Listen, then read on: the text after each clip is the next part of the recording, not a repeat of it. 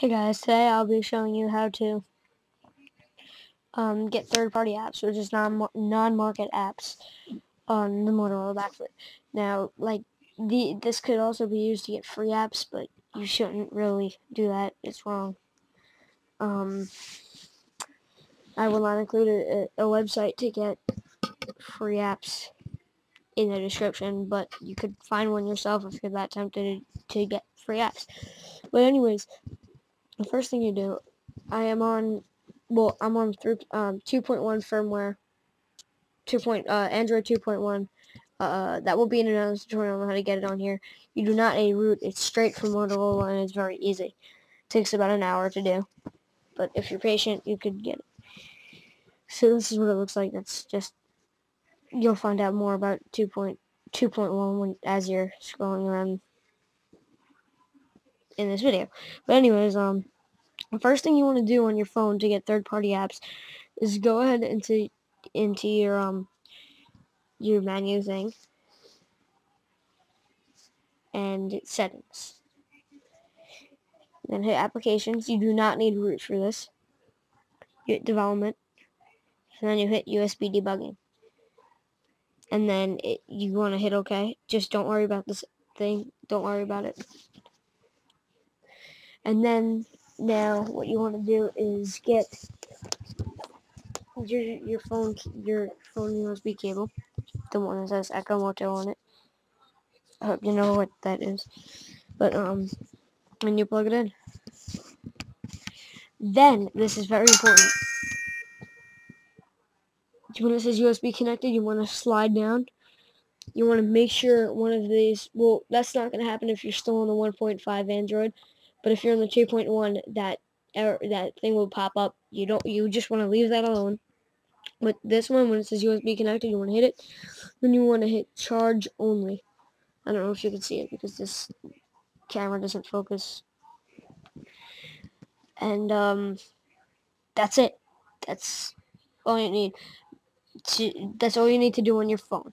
Now, that, that doesn't mean we're done. We can just drag apps to our SD card and then hit a button and install them. No, you need to um, do a lot of things on the PC over there. That's my PC. Um, yeah, so let's switch over to the PC.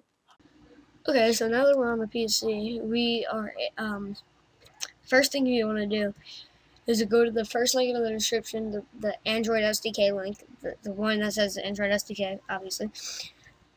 And you want to hit the first one, or wh whichever one you're on, whichever operating system you're on. I'm on Windows, so you want to hit the you want to hit that. You want to hit open. I already, well, I have I already have it downloaded, but I'll show you what you have to do. Okay, so now it's done downloading. A window should pop up.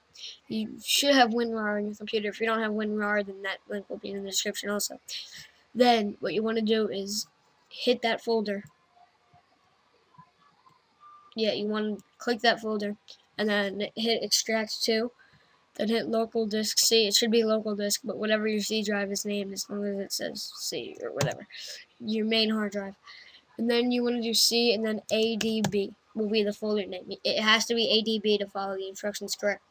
Now I already have the ADB folder on there, so I'm just going to cancel the next out of this. Now the second thing you want to do is get the USB drivers, which 32-bit or 64-bit will be in the description. If you don't know, I recommend choosing 32-bit. If that does not install correctly, then do 64-bit.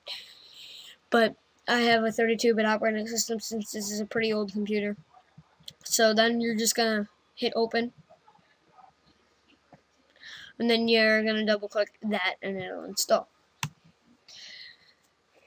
Then when you're done with that, what you need to do is go to your uh, C drive local disk C, and then go to the ADB folder.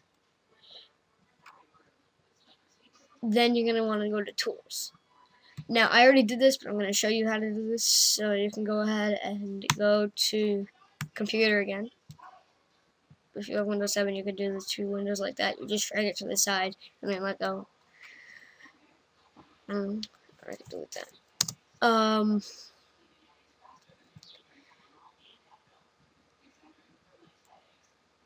Then you want to go to Windows. find system 32. Should be somewhere around here. System 32. Then you search CMD. You you um you want to right click. This is important. You want to right click this. You don't want to drag and drop. Right click. Right click this and then hit copy. Then you go into here, just click on the blank space, and then right click, and then click paste. Um, it's already in here, so I'm just gonna replace it. But that's not gonna pop up for you.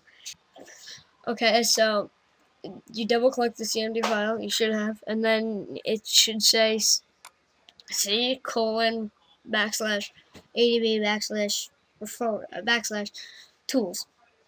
And then um, what you want to do, then you want to just drag it right to here. Move the tools. Then you're gonna wanna right click, right click the file, click rename, and then copy it.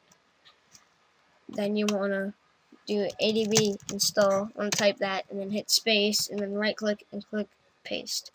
And then at the end you type APK because it shouldn't have copied. And then hit enter. And then it'll go ahead and do that and it'll say let's copy and then it should say success and we're gonna go back to my phone and see if it installed correctly. Okay so now that we're back on the phone we go ahead and unlock it. And you could unplug it if you want but I'm not going to because I should charge my battery till it's half dead so. Then we're gonna look then we're gonna look for the app we just installed or the widget. If it's a widget, I'll show you how. But there it is, Skype beta.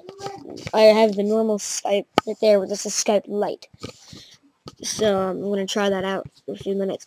But if you install the widget, like the beautiful widget, the beautiful widgets app, I just put in the description. The,